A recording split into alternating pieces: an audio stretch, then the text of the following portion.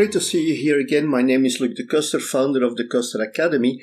And in this video, I'm going to look at what I call the 10 step approach to projects and the main tools that we are going to use during those different steps. But before we continue, don't forget to click on the subscribe button, click on the bell button, and every time we have a new video, YouTube will inform you about it. Let's first have a look at the project management process. Uh, we as a project manager, we have to de- define the project management process. Now, this may be strange that we talk about a project management process. A project is not a process, but we have a project management process, which is basically a set of process steps that we are going to do every time we have a project. And we start with project initiation, planning, execution, monitoring, control, and, and closing. So these are all the process steps that we have in the project management process. And we're going to have a look how we link those to what we call the 10 steps. But first, I want to describe what are the main things that we are going to do in each of those process steps. So let's have a look at the process steps and the 10 steps. First of all, we have the initiation and in the initiation, we create the project charter and we identify the stakeholders. It's only a high level identification of the stakeholders, but we already mentioned them, we already uh, identified them in the charter. Then we have the planning. Here we create the project plan and the necessary baselines, the plan that we will later use to create the deliverables of the project and complete the project. We have execution, and that's the moment where we start creating the deliverables. We start working on the project after approval of the plan, and we create the del- different deliverables. During that phase, during that step, it's also very important to monitor and control. And here we create reports. We have change requests to verify if everything is going as planned. So we compare the work that we are completing with the plan and we take the necessary actions when we see that there are variances. After execution and monitoring control, the project ends, the work is done, but the project is not finished completely. We still have to do the closing. And the closing step is very important because here we're going to close all the outstanding contracts, all the outstanding issues.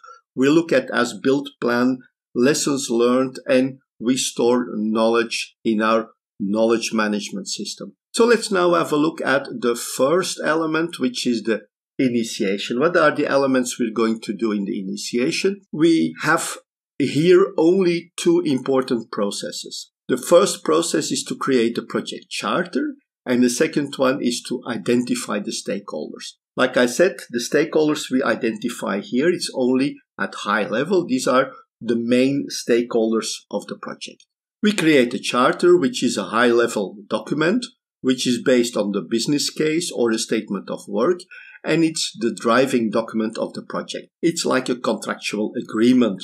We identify the stakeholders, we look at people and organizations, we look at people and organizations that have an interest in the project, and it's very important not to forget stakeholders. Eh? It can be very dangerous to forget some people even if they are from less important for the project, due to the fact that you forgot them, they can create a lot of problems in the organization. Now, identifying stakeholders is an ongoing process. There are more processes we're going to look at when we deal with uh, stakeholders. Very important to understand how important these stakeholders are.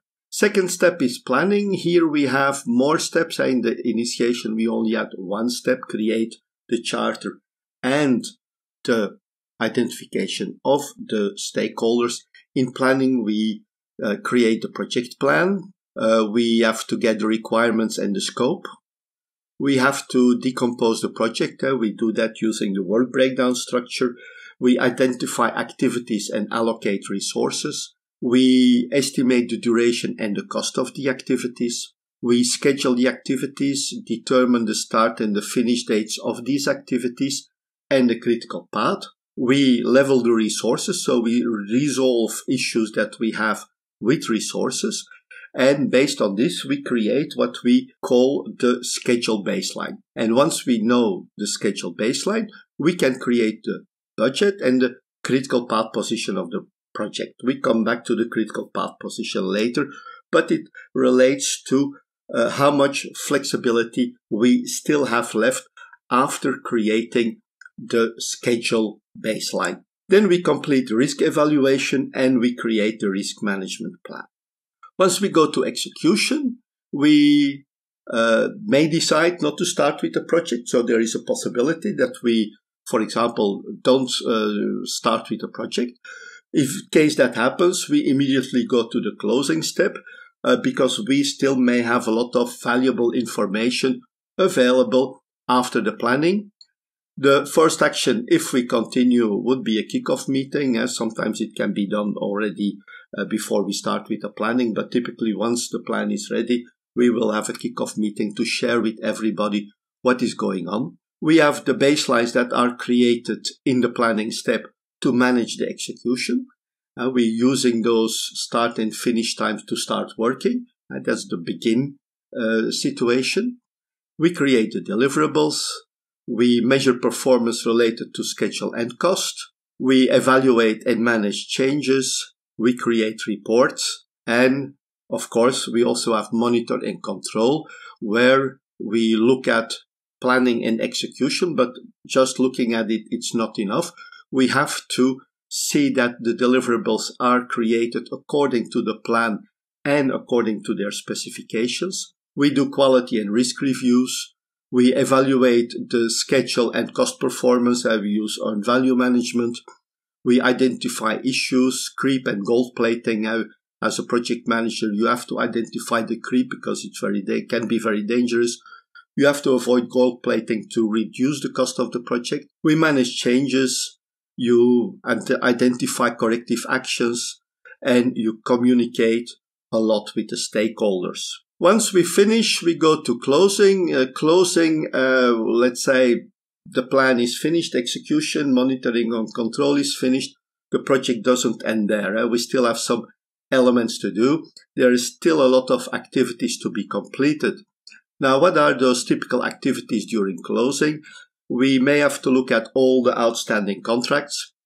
We have to resolve all outstanding issues, create as built plans, evaluate the project's success, have a con- closing review, set up everything for invoicing. Very important. If you're selling services that have to be invoiced, you have to see that the invoices are getting out and conduct knowledge management. All these things are done in closing. So that was basically the idea of the 10 steps. There are not all the things we don't talk about quality management, we don't talk about procurement, we don't talk about communication management. But when we look at the 10 steps, you already have a lot of elements that will help you to create a successful project. So that was it. The 10 steps of project management. Don't forget to click on the subscribe button, click on the bell button, and every time we have a new project, uh, sorry, we have a new video, YouTube will inform you about it. Thank you very much and I'm looking forward to seeing you in our next videos. Bye bye.